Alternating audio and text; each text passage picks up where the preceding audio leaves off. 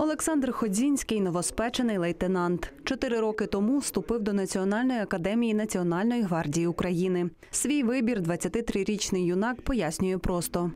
З 14 року е, дивився АТО, ну за АТО.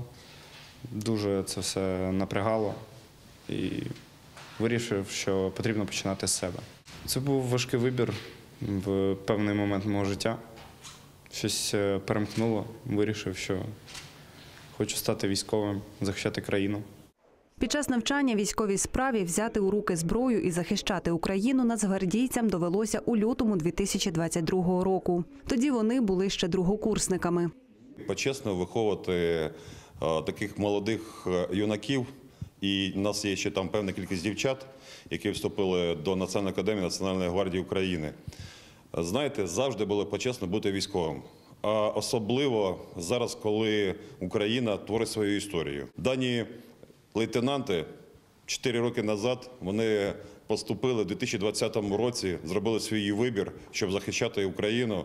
Після державних іспитів п'ятеро нацгвардійців-випускників отримали подяки від міста за віддану службу та високі результати у навчанні. Та це лише початок їхнього військового шляху. Після закінчення академії вони направляються для подальшого проходження служби в бригади наступу Національної гвардії України.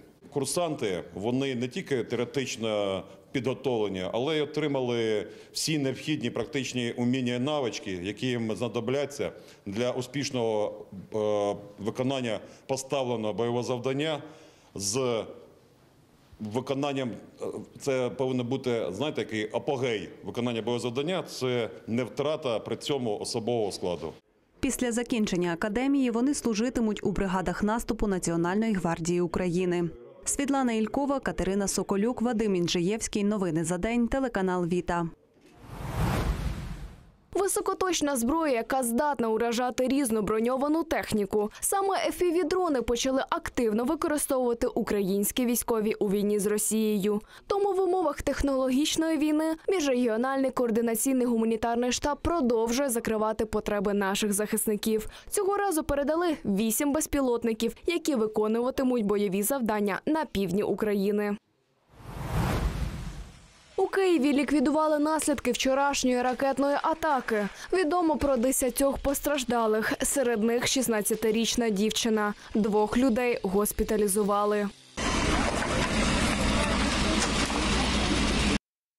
Водночас окупанти не припиняють гатити по інших містах. Дроном камікадзе армія РФ завдала удару по Нікополю на Дніпропетровщині. Поранена жінка. З артилерії та мінометів окупанти обстріляли житлові квартали на Запоріжжі та Харківщині. Європейський саміт міста регіонів, майданчик для політичного партнерства, а також співпраці на локальному рівні для економічного розвитку міст. Традиційно саміт проводиться у тій країні, яка головує у Раді Європи. Цьогоріч це Бельгія. Отож, голови регіонів, очільники міст, голови асоціацій, а також представники Ради Європи та Євросоюзу зібрались тут, у Монсі. Не втрачає можливості заявити про себе і Вінниця. Серед трьох з половиною тисяч учасників була і наша делегація. Вінницький міський голова Сергій Моргунов говорив, що Україну треба підтримувати всебічно, як прифронтові громади, так і тилові, які тримають економіку країни. Це якраз ті механізми і ті рекомендації, які на сьогоднішній день комітет регіонів відпрацював е, з точки зору підтримки ем, е, саме цього процесу в частині, зокрема. е, Фінансування, експертної підтримки, можливих стратегічних підходів до е, процесу відбудови і відновлення. І саме ця дискусія сьогодні або два дні цього саміту вони е, створили таку досить таку глибоку дискусію з точки зору е, процесів і глибини тих викликів, які нас очікують е, в частині відбудови і відновлення. Європа готова підтримувати та захищати Україну. Війна в Україні перевернула весь європейський світ та його бази, які засновуються на прогресі та людських цінностях. Ми не можемо і не лишимо, не дамо Путіну перемогти ні йому, ані тим, хто може загрожувати континенту Європа. Саміт для Вінниці можливість заявити про себе та знайти партнерів. Із головою регіонального офісу Європи та Центральної Азії Наталією Алонсо Кано обговорили стратегію розвитку Вінницької громади під час війни. Дуже важливо, щоб ми мали достатню кількість даних, щоб був правильний аналіз. Та інформація, яку місто отримує в результаті, підсилить вас і дасть можливість долати ризики, пов'язані як зі стихійними лихами, так і з викликами війни. Вінниччина показала свою інвестиційну привабливість та потенціал регіону. Це допоможе знайти міжнародних донорів. Більше спільного контексту, більше спільних проєктів і рухатись разом в одному напрямку. Стосовно України, е, то звісно, що Україна ем, бажає отримувати більше підтримки і допомоги від наших європейських колег. І саме тут в цьому контексті знову є важливим питання децентралізації, аби допомога йшла не лише на рівні урядовому, але й на рівні е, міст, які безпосередньо працюють з громадою. З Вінницею та областю вже готові співпрацювати американці, французи та представники різних міжнародних організацій. Із Брюсселя Ірина Дідух. Новини за день. Телеканал Віта. 26 березня на Стрижавському родовищі мігматитів добуватимуть граніт. Про роботи попереджатимуть звуковими сигналами. Перед вибухом два сигнали по дві хвилини. Після завершення робіт пролунає три коротких сирени по 30 секунд. На Вінниччині на кордоні з Молдовою діятимуть додаткові обмеження для чоловіків. Так, у межах Яришівської, Могилів-Подільської, Ямпільської та Студенянської територіальних громад заборонено перебувати чоловікам призовного віку. Також там не можна відпочивати та рибалити. В'їзд на прикордонну територію дозволено лише особам, які проживають чи навчаються неподалік або мають земельні ділянки. У такому випадку прикордонникам потрібно показувати відповідні документи. Обмеження не стосуються тих, хто їде транзитом, а також представників військових формувань, прикордонників, правоохоронців та інших державних службовців.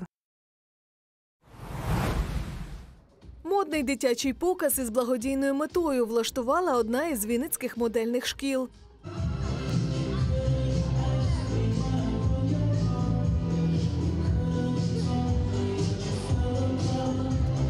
Серед моделей і діти загиблих військових. Марійка Дятлюк на подіумі буде вперше. Та хвилюється більше не вона, а матуся. Я дуже рада, що надають таку можливість, таке свято для дітей, бо це для них дійсно свято. Такий важкий час. е, Всі тут, тут ну настільки енергетика любові і тепла, е, радості, і е, тут хочеться жити. Помітно хвилюється перед виходом і Злата Дідук. Я ще ніколи не виступала в школі моделі. Е, Це мій перший раз, але е, була на фотосесії. Раніше на таких показах збирали допомогу для діток з важкими хворобами. Та цього разу гроші підуть для підтримки військових. Якщо приходила велика сім'я, то на кожну людину віддавався квиток, і ем, вони могли від 200, а також більшу суму. Все залежить хто скільки бажає. Ми передаємо волонтерам. Сьогодні на заході вони також презентували себе і розказали, що будуть купувати. Е, Це дрони, ем, генератори, а також багато того, чого найбільше потрібно на нулі. Учасникам показу вдалося зібрати майже 30 тисяч гривень. Ірина Дідух, Володимир Гірявенко. Новини за день. Телеканал Віта.